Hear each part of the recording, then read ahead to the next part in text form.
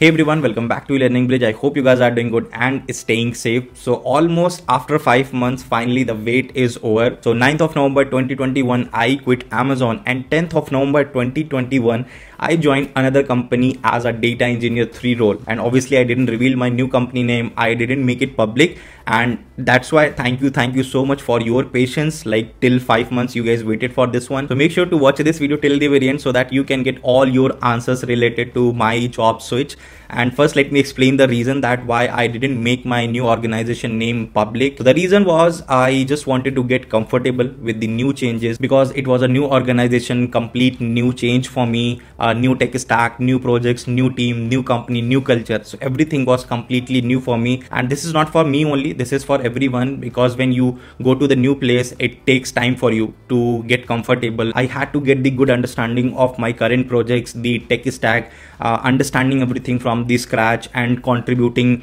along with my team so everything was there and that's why i just didn't want to disturb myself at least on that aspect making things public at that moment and along with that obviously i just wanted to work on more the content creation part like bring more people from different background different companies and uh, just try to put best of the best content in front of you and i can see that improvement at least in last three four months. Uh, you appreciated all the videos you liked all the content uh, which i was putting and again thanks for that. To any of you who don't know the exact reasons that why did i even quit amazon as a data engineer i created one video for that. You can check that out you will get all your answers. So what actually happened with me during the job switch? How many offers did i get? Whether I appeared in FAANG interviews or not, which company did I choose, and what was the reason to choose that XYZ company. Everything I will explain. And after watching this video, if you feel that my mindset was correct during that job switch and I made a good decision to choose some XYZ company, then let me know in the comment section and also like this video in really big numbers so that these kind of decision making thoughts, especially for the data engineering role and their respective companies can reach to maximum number of aspiring data engineers. So this time I had multiple job offers for the data engineer role from different companies. First offer I had from the Koo, second was from the Zomato, third was from the KreditBee, fourth from the Grab, fifth from the Meesho, sixth from the Expedia group, and seventh from the Google itself. And that was actually for a little bit different job profile. And I will explain that why I showed interest in that profile and why did I even interviewed for that. So now the big question is that which company did I choose? And I will explain it step by step. So this time when I was planning for a job switch, I had some clear thoughts in my mind.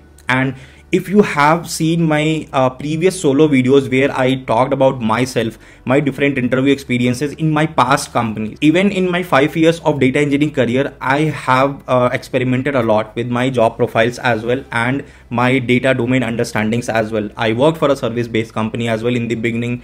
Then I just wanted to get a feel of startup kind of culture. So I, I joined Paytm after that i wanted to get some feel of consulting environment just to check how things work there and what kind of new things i can learn in consulting and whether it's a good fit for me or not. So i joined mckinsey and again obviously wanted to work in the FAANG level companies so joined amazon. So so far things were quite good. But this time when i was planning for a job switch i had a different mindset and that mindset was uh, obviously i was first of all trying to avoid the FAANG companies. I was not getting a very strong feeling to again interview for the fangam level companies. Although i was approached by fangam recruiters for the data engineer role like from the facebook i was approached by the recruiter and from the google itself from apple as well from the microsoft as well. And obviously i was not getting any kind of a strong feeling to join fangam companies again. So that's how i dropped the idea to interview for any fangam companies.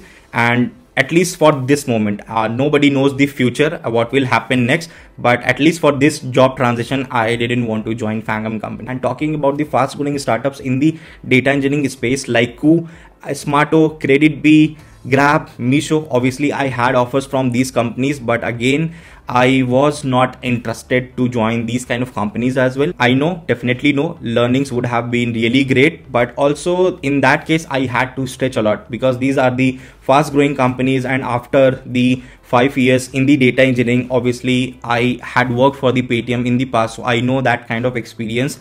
And I was definitely trying to avoid that one. And there were many important thoughts which actually made my decision really strong to not to accept offers from these fast growing startups. And one of the reason was uh, previously at least till amazon mostly i got the exposure on the batch data pipelining. Although uh, based on my understanding based on my exploration i did some pocs and side projects on real-time data streaming but obviously that was not enough and that was actually the main change i was expecting this time. So obviously for the work-life balance part if you are expecting to join startups. So you need to compromise on that part little bit because things are quite fast there quite dynamic. Obviously learnings would be top notch but work life balance would be one of the factor where you need to compromise little bit. That was the reason i didn't accept the offers from those growing startups. But guys you can let me know one thing in the comment section that if you want a dedicated video for my interview experience interview experience as in uh, wherever i interviewed so i will summarize everything in one video like uh, in the recent interview patterns what all things they asked to me and how many rounds were there what kind of questions you should expect uh, if you are in this three or five years of experience range for the data engineering companies how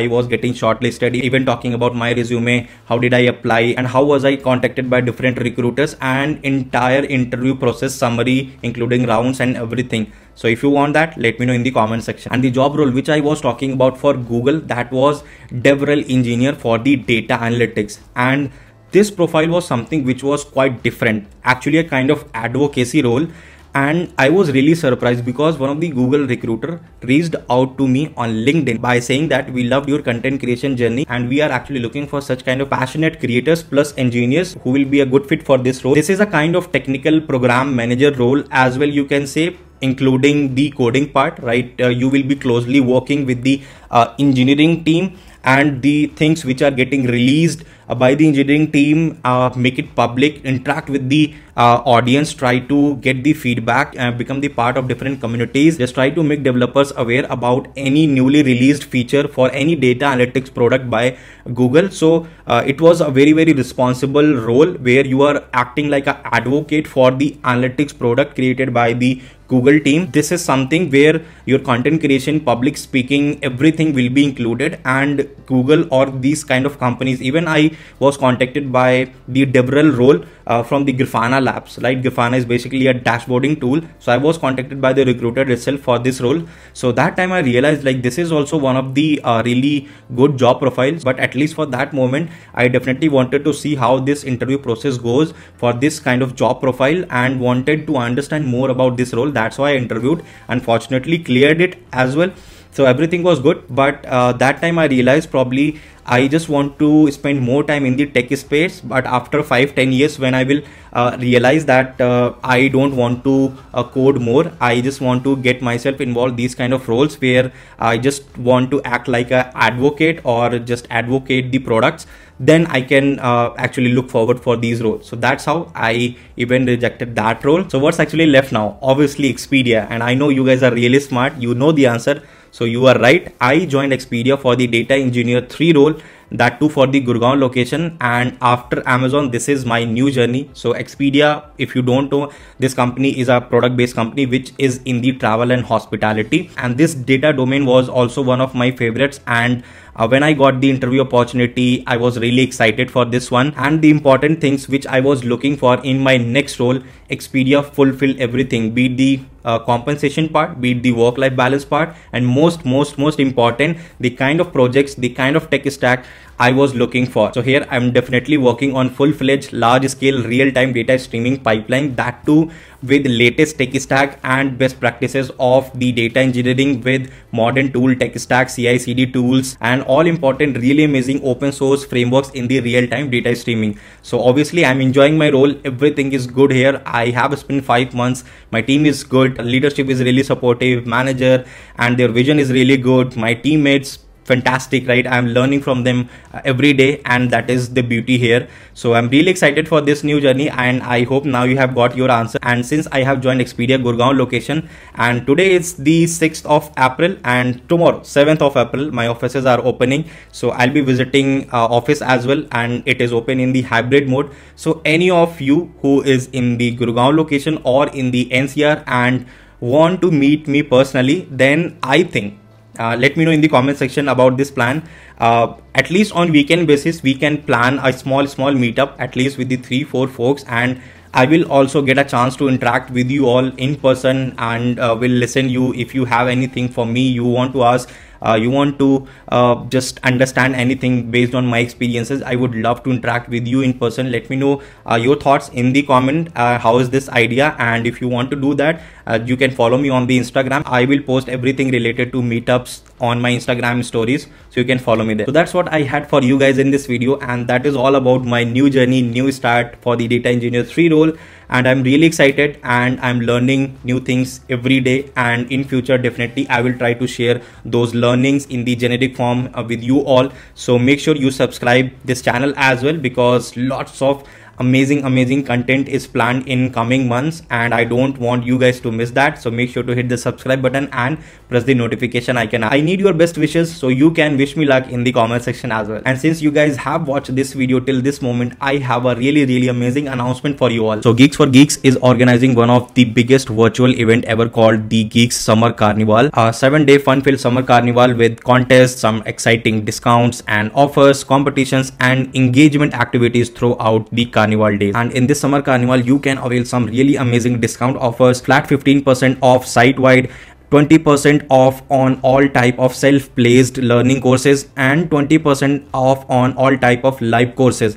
So really amazing opportunity to avail some amazing discount offers. And in this summer carnival they are organizing some really really amazing webinars jobs and internship opportunities and some various other cool stuff. So what are you actually waiting for? Go and get yourself registered as soon as possible because this carnival will be organized from 5th of april till 11th of april. So i have provided the link in the description description check it out quickly and get yourself registered. So mark your calendar and get ready for these days filled with learnings and growing opportunities